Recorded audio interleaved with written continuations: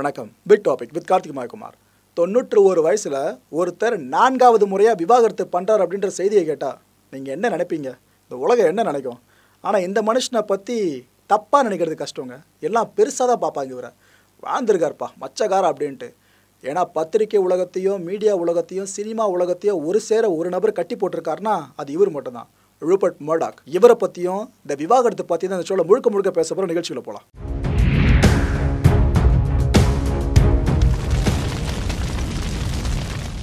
ஒரு பத்திரிகை ஆரம்பிச்சுலாம் பெருசாக காசு பார்க்க முடியாது. ஃபெயிலியர் ஆகிடும் அதுவும் மேகசின்ஸை விட்டுரு. செய்தித்தாள்கள்லாம் ஆரம்பிச்சுன்னா அவ்வளோதான் நீ காலி ஆகிடுவ போண்டி ஆகிடுவ அப்படின்வாங்க சரி ரைட்டு இந்த டிவி சேனல்ஸ்லாம் ஆரம்பிக்காத. அதுக்கப்புறம் உன்னால் காசே பெருசாக பார்க்க முடியாது. இருக்கிற சொத்தை இழந்துட்டு நடுத்தருக்கு தான் நீ வரணும் அப்படின்வாங்க அந்த பிஸ்னஸே வேணாடுவாங்க சரி ரைட்டு அதையே விடுங்க.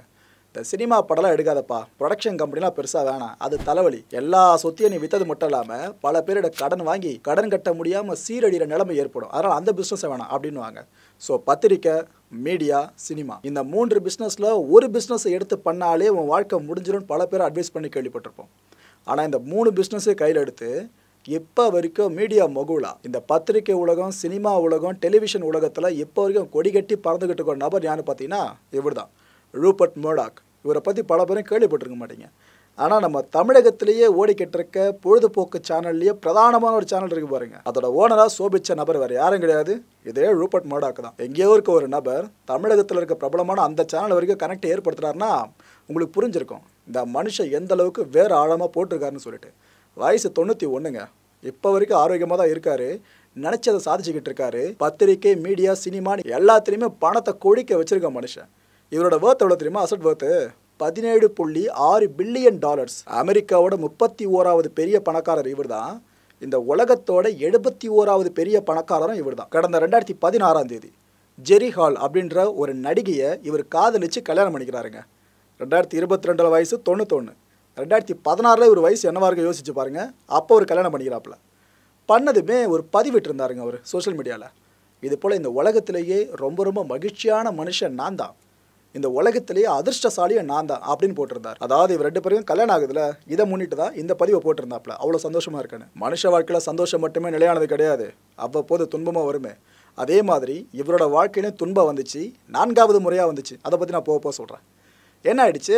இவங்களோட ஆறு வருட திருமண வாழ்க்கை கசந்துருச்சுங்க. ரெண்டு பேருக்குமே கருத்து வேறுபாடு ஏற்பட்டிருக்கு. ரூபர்ட் மர்டாக்கும் ஜெரி ஹாலும் விவாகரத்து பண்ணிக்க போகிறாங்கன்னு கிட்டத்தட்ட தகவலே உறுதி ஆயிடுச்சு சர்வதேச ஊடகங்களில் மிகப்பெரிய செய்தியாக இப்போ இதுதான் வளம் வந்துக்கிட்டு இருக்கு. இதனப்பா அவ்வளோ பேர் செய்தி? இதை போட்டு எல்லாம் வளம் வர வச்சுக்கிட்டு இருக்கீங்க செய்தியா அப்படின்னு கேட்டிங்கன்னா இதில் ரெண்டு விஷயம் இருக்குங்க. தொண்ணூற்று ஒரு வயதில் ஒருத்தர் விவாகரத்து பண்ணுறாரு இது ஒரு விஷயம்.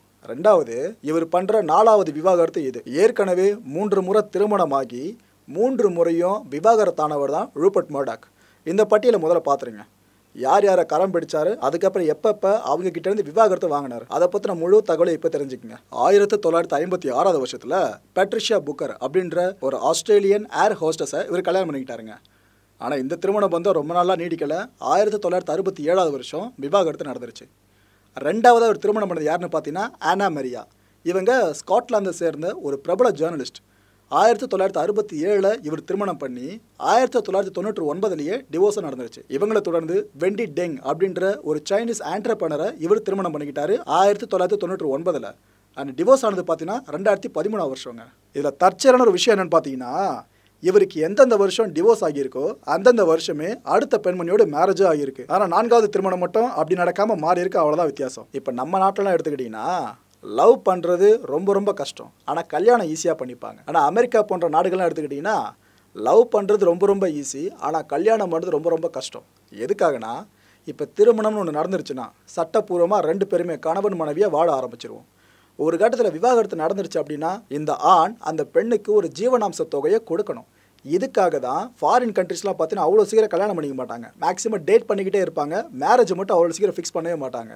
எல்லாத்தையும் ஆண்டு அனுபவிச்சுட்டு கொஞ்சம் சொத்து சேர்ந்ததுக்கப்புறம் அப்பாடான்னு உட்காருவாங்களே அந்த நேரத்தில் தான் மேக்ஸிமம் மேரேஜே பண்ணிப்பாங்க. இதுக்கு பெரிய காரணம் இதுதான். நாலு பேரும் டிவோர்ஸ் ஆகிடுச்சுன்னா பெரிய அளவு தொகையை ஜீவனாவசமாக கொடுக்க நேரிடும். சொத்தில் பாதியை கொடுத்தாலும் அது ஆச்சரியப்படுறது கிடையாதுன்னு எல்லாரும் இந்த பயத்தில் தான் மேற்கத்திய நாட்டில் இருக்கவங்க அவ்வளோ சீக்கிரம் மேரேஜ் பண்ணிக்க மாட்டாங்க. ஆனால் நாம் இங்கே அதெல்லாம் பெருசாக பார்க்குறதில்ல மனசுக்கு பிடிச்சா மேரேஜ் பண்ணிக்கிறோம். அதுக்கப்புறம் ஃபுல்லாக ஒருவனுக்கு ஒருத்தன் வாழ்ந்துகிட்டு இருக்கோம். இந்த கான்செப்ட் அங்கே பெருசாக தோது படாதுன்றனால தான் அவங்க அந்த லைஃப் ஸ்டைலில் வாழ்ந்துகிட்டு இருக்காங்க. இதில் சரி எது தப்பு எது? அதை பற்றிலாம் நம்ம போக வேணாம். ஜஸ்ட் உங்களுக்கு தெரிஞ்சுக்க தான் சொல்கிறேன் அவ்வளோதான் நைன்டீன் நைன்டி நைனில் ரூபர்ட் மர்டாக்குக்கும் ஆனா மரியாக்கும் விவாகரத்து நடக்குதுங்க.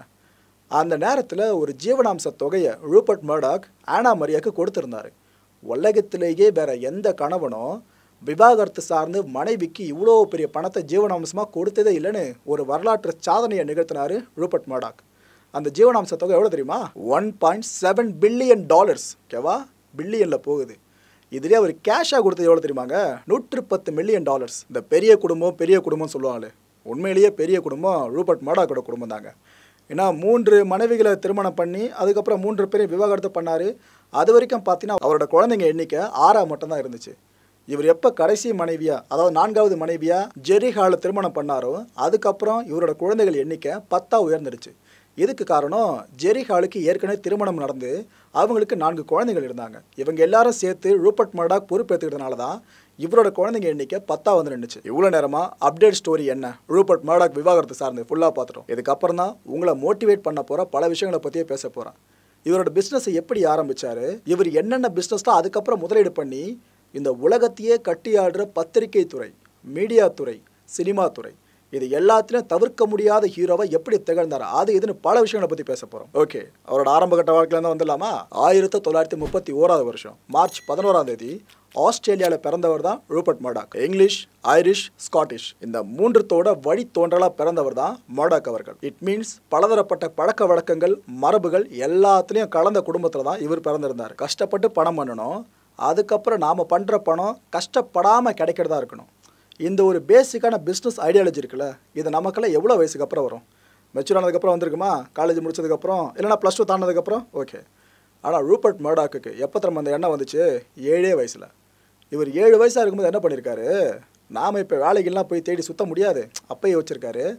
நமக்கு பாக்கெட் மணி கொஞ்சம் அதிகமாக வேணும்னு சொல்லிட்டு இந்த வாட்டர் ரேட்ஸ்னு சொல்லுவாங்க. நீர் தேங்கி இருக்க பகுதிகள் நீர்நிலைகள்லாம் பார்த்தீங்கன்னா எலிகள் சுற்றிக்கிட்டு இருக்கோல அந்த எலிகளை வேட்டையாட ஆரம்பிக்கிறாரு. எலிகளை வேட்டையாடி என்ன பண்ணியிருக்காருன்னா அதோட எரு இருக்குது பார்த்தீங்களா இது எல்லாத்தையும் சேகரிச்சுட்டு அதோட தோலை தனியாக பிச்சு எடுத்துருவார். இதை அப்படியே கொண்டு போயிட்டு விற்பாருங்க இதை வாங்குறதுக்கு ஆட்கள் இருந்திருக்காங்க. அப்போ இவருக்கு போதுமான அளவுக்கு பாக்கெட் மணியே கிடச்சிருக்கு. இந்த காசை என்ன பண்ணுவாப்புல? உடனே செலவு பண்ணிட மாட்டார். இதை ரெண்டா மூணா நாலு மடங்காக மாற்றலான்னு சொல்லிட்டு ஸ்கூல்லையே கேம்லிங் பண்ணுவார். எப்படி சம்பாதிச்ச காசை? கஷ்டப்பட்டு தான் சம்பாதிச்சிருக்காரு. ஆனால் அதை அதிகமாக மாற்றணுன்ட்டு ஈஸியான ரூட்டை செலக்ட் பண்ணால் தான் கேம்லிங் இந்த அளவு ஈஸி மணி மைண்டடாக தான் இவர் சின்ன வயசுலேருந்தே வளர்ந்துருக்காரு. நம்ம இந்தியாவில் எப்படி கிரிக்கெட் அப்படின்ற ஒரு விளையாட்டு இந்த அளவு புகழோட உச்சாநிலை இருக்கோ அதே மாதிரி ஆஸ்திரேலியான்னு எடுத்துக்கிட்டிங்கன்னா அங்கேயும் கிரிக்கெட் ஃபீவர் ஹெவிங்க உலகத்தோட தலை சிறந்த கிரிக்கெட் அணிகள் எடுத்துக்கிட்டிங்கன்னா அதில் ஆஸ்திரேலியன் கிரிக்கெட் டீமை தவிர்க்கவே முடியாது. உண்மையிலேயே மிகப்பெரிய சாம்பியன் டீம்னு பார்த்தீங்கன்னா ஆஸ்திரேலியா தான் அதில் மாற்று கருத்து இல்லை. அவ்வளோ ஸ்டார் பிளேயர்ஸ்லாம் இருந்துக்க ஒரு டீம் அப்பேற்பட்ட நாட்டில் பிறந்துட்டு இந்த மனுஷனுக்கு கிரிக்கெட் பிடிக்காமையாக இருக்கும். சரியான கிரிக்கெட் வெறியருங்க. யார்? ரூபர்ட் மோடாக் இவர் நிறைய ஸ்போர்ட்ஸ் சேனலாக வாங்கினாப்ல அதுக்கு காரணமும் இதுதான். இந்தளவு கிரிக்கெட் மேலே தான் அவரோட அபிமானம் தான். இவர் ஸ்கூலில் படிக்கும் போதே அந்த ஸ்கூலோட கிரிக்கெட் டீமுக்கு கேப்டனாக செயல்பட்டவர். ஒரு தடவை அவரோட ஸ்கூல் டீமை நேஷனல் ஜூனியர் ஃபைனல் வரைக்கும் கொண்டு போனாருங்க. இறுதி போட்டி வரைக்கும் கொண்டு போகிறது அவ்வளோ ஈஸியான விஷயம் இல்லை. இவர் பண்ணியிருக்காரு ரூபர்ட் மர்டாக்கோட ஃபேமிலி பார்த்தீங்கன்னா வழி வழியாகவே பத்திரிகை துறையில் கோலோச்சின ஃபேமிலிங்க அதுவும் ரூபர்ட் மர்டாக்கோட அப்பாலாம் உள்ளூரில் ஒரு பெரிய பத்திரிகையாளர் அவர் பேரை சொன்னால் தெரியாத ஆட்கள் அங்கே இல்லைன்னு சொல்லலாம். அந்த அளவுக்கு சோபிச்சவர். ஆனால் விதி ஆயிரத்தி தொள்ளாயிரத்தி ஐம்பத்தி ரெண்டாம் வருஷம். ரூபர்ட் மர்டாக்கோட அப்பா இறந்துடுறாரு. ஒரு பக்கம் அப்பா இறந்துட்டாரு இன்னொரு பக்கம் அவர் நடத்திக்கிட்டு இருந்த இந்த நியூஸ் அப்படின்ற அடிலைட் நியூஸ் பேப்பர் ஒன்றுங்க இந்த பிஸ்னஸ் அப்படியே அஸ்தமனம் ஆகிட்டு வந்துகிட்டு இருக்கு. ஏன்னா பத்திரிகை துறையில் பெருசாக காசு பார்க்க முடியாது ஓகேவா அதனாலே சோபிக்க முடியாமல் அஸ்தமனம் ஆகிட்டு இருக்கு. கடன் கொடுத்தவங்கெல்லாம் வீட்டு வாசலில் வந்து நிற்க ஆரம்பிக்கிறாங்க. அப்போ தான் ரூபர்ட் மடாக் என்ன பண்ணுறாரு அப்பா பிஸ்னஸ் நானே பண்ணுறேன் எனக்கு கூடயே இருந்திருக்கலாம் அவர் கூட. அதனால் எனக்கு கொஞ்சம் தெரியும். இதை பற்றி நானே பண்ணுறேன்ட்டு அப்போ தான் உள்ளே வராருங்க பிஸ்னஸ்க்குள்ளே அதாவது இதுக்கு முன்னாடி ஸ்கூலு அது இதுன்னு பண்ண வேலையெல்லாம் தவிர்த்துட்டு முழுமையாக பிஸ்னஸில் இறங்கினது பார்த்தீங்கன்னா அவரோட அப்பா இறந்தது பிற்பாடு தான்.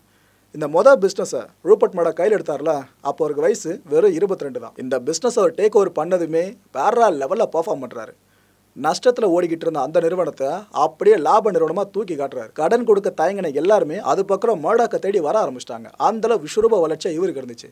அதுக்கப்புறம் என்ன பண்ணுறாரு நம்ம பத்திரிகை துறையில் மட்டும் இருக்க வேணாம். மீடியா துறைக்கும் போகலாம். காலத்துக்கு ஏற்ற மாதிரி நம்ம செய்தி வழங்குறத அப்டேட் பண்ணிக்கலாம்னு சொல்லிட்டு இவரோட பார்வை மீடியா பக்கம் திரும்புது. உலக மீடியா இண்டஸ்ட்ரியோட ஒரு ஹப்பாக திகழ்கிற நாடு எதுங்க? நான் உங்களுக்கு சொல்லி தெரியணுமா அமெரிக்கா. அமெரிக்கா தான் சினிமாலையும் சரி மீடியாலையும் சரி டாப்பாக இருக்காங்க. அதனால் நம்ம அமெரிக்காவில் போய் பிஸ்னஸ் பெருசாக பண்ணலான்னு சொல்லிட்டு நாம் அமெரிக்காவுக்கு போகலாம். பட் ஆனால் சிக்கல்கள் இருக்குன்னு யோசிக்க ஆரம்பிக்கிறாருங்க. அது என்ன சிக்கல்னா அமெரிக்காவில் இருக்கிற ஏதாவது ஒரு மீடியா சேனலையோ இல்லை ஒரு சினிமா நிறுவனத்தை இங்கே வாங்க விரும்புகிறீங்க அப்படின்னாலோ கண்டிப்பாக நீங்கள் ஒரு அமெரிக்கன் சிட்டிசனாக இருக்கணும். அப்படி இல்லைனா உங்களுக்கு அந்த வாய்ப்பு கொடுக்கப்படாது. இது ஒரு பெரிய ட்ராபேக்காக இருந்துச்சு. கரெக்டாக அந்த நேரத்தில் என்ன ஆகுதுன்னா இந்த யூகேவுக்கான இந்த டைம்ஸ் பத்திரிகை இருக்குல்லங்க இதோட உரிமத்தை இவர் வாங்குறாரு. அவ்வளோதான் அதுக்கப்புறம் அமெரிக்காவில் இவர் தொழில் பண்ணலாம். இவர் சொந்தமாக நிறுவனங்கள் வாங்கலான்ற ஒரு ஸ்டேட்டஸ் கிடச்சிருச்சு. இதை நேச்சுரலைஸ்டுன்னு சொல்லுவாங்க இந்த சிட்டிசன்ஷிப்பில் அதாவது இவரோட ஸ்டேட்டஸை பேஸ் பண்ணி இவரோட பிஸ்னஸ் பண்ணிக்கிட்டு இருக்க அடித்தளம் இருக்குது பார்த்தீங்களா அதை குறிப்பிட்டு இந்த குறிப்பிட்ட சிட்டிசன்ஷிப் இவர் கிடைக்கும். அதனால தான் நேச்சுரலைஸ்ட் அப்படின்னு சொல்லுவாங்க. அந்த அளவுக்கு ஆஸ்திரேலியன் சிட்டிசன்ஷிப்பை தவிர்த்துட்டு அமெரிக்கன் சிட்டிசன்ஷிப்பை இவர் ஓன் பண்ண ஆரம்பிச்சார். அமெரிக்காவோட நியூயார்க்கு போயாச்சு. தான் நினச்சா மாதிரியே அங்கே இருக்கிற மீடியா சேனல்ஸில் ஆதிக்கம் செலுத்த ஆரம்பிச்சாச்சு. அங்கேருந்து அப்படியே சினிமா ஸ்டுடியோ வரைக்கும் போயாச்சு. அவ்வளோதான் இதுக்கப்புறம் ஒரு மனுஷன் என்னங்க சாதிக்க முடியும்? மூன்று துறைகள்லையும் ஒரு சேர அடித்து தூக்கிட்டு வந்தார் ரூபர்ட் மோடாக். உலகம் முழுக்க இவரை பற்றியெல்லாம் பேச ஆரம்பித்தாங்க யாரா இது? திடீர்னு அடிச்சு பிடிச்சிட்டு வந்து ஒரு மொனோப்பலியாக நின்றுக்கிட்டு இருக்காரு. சினிமாவை எடுத்தாலும் பெரிய ப்ரொடக்ஷன் கம்பெனி இவர் தான் இருக்குது டிவி சேனல்ஸ் எடுத்தாலும் அதில் பெரிய சேனல்ஸாக இவர் ஓன் பண்ணதாக இருக்குது பத்திரிக்கையில் இதே இருக்குது யாரா அந்த மனுஷன்? எல்லாருமே பேச ஆரம்பித்தாங்க ரூபர்ட் மர்டாக் எக்ஸ்பெரிமெண்ட் பண்ணுறதுலையும் அடிச்சிக்க முடியாத ஆளுங்க. அதாவது புதுசாக ஒரு விஷயத்தை ட்ரை பண்ணலாம் பிஸ்னஸில் இந்த ஒரு தாட் எப்போவுமே அவருக்கு இருந்துகிட்டே இருக்கும். செயல்படுத்திக்கிட்டே இருப்பார். இதுக்கு உதாரணம் சொல்கிறதா இருந்தால் இப்போ நம்ம பார்த்துக்கிட்டு இருக்கோம்ல இந்த செய்தித்தாள்களில் செய்தியை படிக்கிறதுக்கு பதிலாக இல்லைனா ஒரு சின்ன டிஸ்பிளே இருக்க செல்ஃபோனில் செய்தியை பார்த்துக்கலாம் இல்லை ஐபாடில் செய்தியை கேட்டுக்கலாம் அப்படின்னு நம்ம இப்போ யோசிக்கிறோம்ல. இதை ரெண்டாயிரத்தி பதினொன்று பிப்ரவரியில் யோசிச்சு அதை இம்ப்ளிமெண்ட் பண்ணவர் தான் Rupert Murdoch iPad only daily newspaper அப்படின்ற சேவைக்காக த டெய்லி அப்படின்ற ஆப்பை உருவாக்குறாங்க. இந்த ஒரு குறிப்பிட்ட புதிய பரீட்சார்த்த முயற்சிக்காக இவர் இன்வெஸ்ட் பண்ண தொகை எவ்வளோ தெரியுமா? முப்பது மில்லியன் டாலர்ஸ் இந்த செயலியில் சந்தாதாரராக மாறணும் அப்படின்னா வாரத்துக்கு தொண்ணூற்று ஒன்பது சென்ட்ஸை நீங்கள் செலுத்தினா போதுங்க. அதுக்கப்புறம் தொடர்ந்து அந்த சர்வீஸை பெற்றுக்கிட்டே இருக்கலாம். இவர் ஆரம்பித்தப்ப எல்லாருக்கும் இது புரியல. ஏன்னா அந்த டைமில் இருந்தவங்களால பெருசாக அதை புரிஞ்சிக்க முடியல. இது என்னது ஏதோ செய்தியை கேட்கலான்றாங்க பார்க்கலான்றாங்க நியூஸ் பேப்பரே வேணான்றாங்க.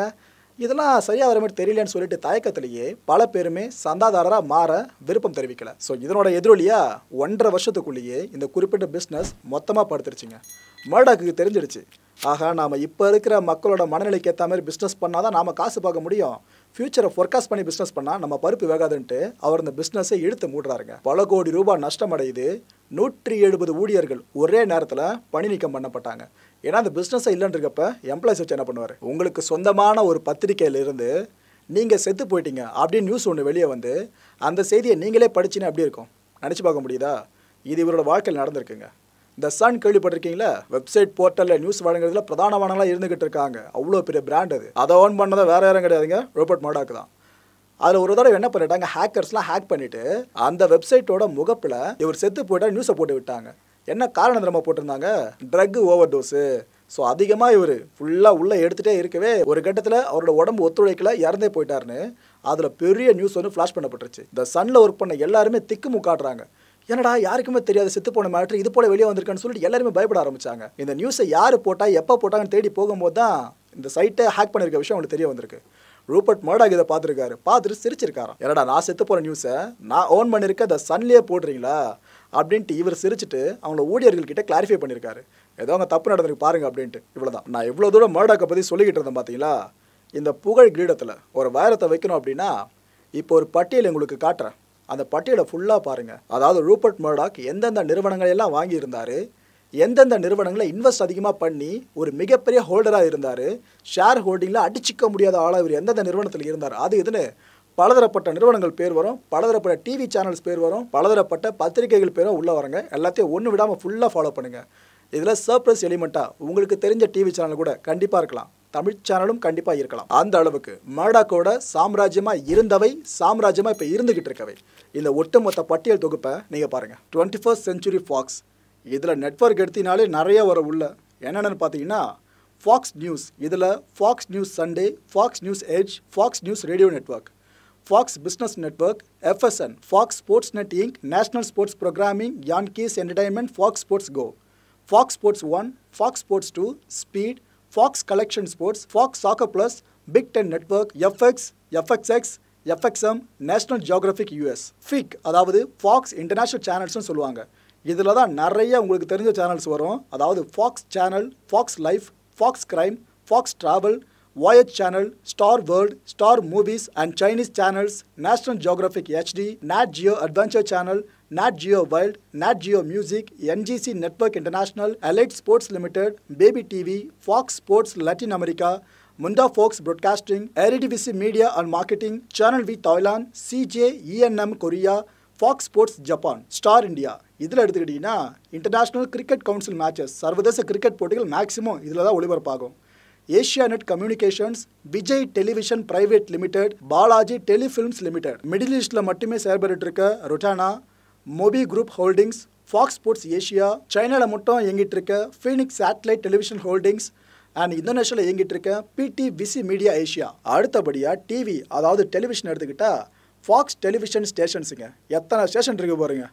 இதை தொடர்ந்து Fox Broadcasting Company My Network TV distribution service and film எடுத்துக்கிட்டிங்கன்னா twentieth Century Fox Film Fox two thousand Fox Searchlight Pictures Twentieth Century Fox Animation Fox International Pictures Twentieth Century Fox Home Entertainment. ப்ரொடக்ஷனில் பார்த்தா Twentieth Century Fox Television Production Fox twenty one Inc Twentieth Television F TVS Fox Television Studios Shine Limited all films இந்த Fox library. Broadcast segment எடுத்துக்கிட்டிங்கன்னா Sky Italia Sky Deutschland. அதர்ஸில் பார்த்தீங்க அப்படின்னா B Sky B Hulu Tata Sky Bona Film Group CMC News Asia Vice Holdings. இதுதான் Vice நியூஸ்னு சொல்லுவாங்க. News corporation Rupert மாடா கூட பிரதானமே இதுதாங்க. இதுதான் அவரோட முதுகெலும்பு. இதில் நியூஸ் அண்ட் இன்ஃபர்மேஷன் செக்மெண்ட் எடுத்துக்கிட்டிங்கன்னா டோ ஜோன்ஸ் உள்ள வருதுங்க. இதில் தான் Wall Street Journal CIO Journal CFO Journal CMO Journal and International WSJ editions Wall Street Journal Digital Network Factiva DJ Risk and Compliance Dow Jones Newswires Barron's MarketWatch Dow Jones Private Market DJ X News Corporation Australia இதில் எடுத்துக்கிட்டிங்கன்னா the Australian the Daily Telegraph Herald Sun the Courier Mail the Advertiser Taste dot com career one dot com Business Spectator Eureka Reports CarsGuide dot com Fox Sports purse and local dailies news யூகேல எடுத்துக்கிட்டிங்கன்னா the Sun the Times New York Post news America marketing smart source inserts story full இதே news கார்பரேஷனில் cable network programming எடுத்துக்கிட்டிங்கன்னா Fox Sports Australia digital real estate services R E A group and news கார்பரேஷனில் book publishing எடுத்துக்கிட்டிங்க அப்படின்னா உலக புகழ்பெற்ற publishing கம்பெனியான hopper Collins இவரது தான் and அல்டிமேட்டா நியூஸ் கார்பரேஷன்ல டிஜிட்டல் எஜுகேஷன் எடுத்துக்கிட்டிங்கன்னா இந்த ஆம்பிளிஃபை கேள்விப்பட்டிருக்கீங்களா? அது உள்ளே வந்துடுது amplify inside amplify learning amplify access மக்களே ரூபர்ட் மர்டாக் இவர் தனிப்பட்ட வாழ்க்கையில் எப்படி இருந்திருக்காரு? தொழில் வாழ்க்கையில் எப்படி இருந்திருக்காரு? ஃபுல்லாக நம்ம பார்த்து முடிச்சிட்டோம். இவரோட வாழ்க்கை சார்ந்த மக்கள் நீங்கள் தெரிவிக்க விரும்புகிற கருத்து எதனா இருந்துச்சுன்னா கீழே கமெண்ட் பாக்ஸை கமெண்ட்டாக லீவ் பண்ணி எல்லாருமே தெரிஞ்சுக்கலாம்.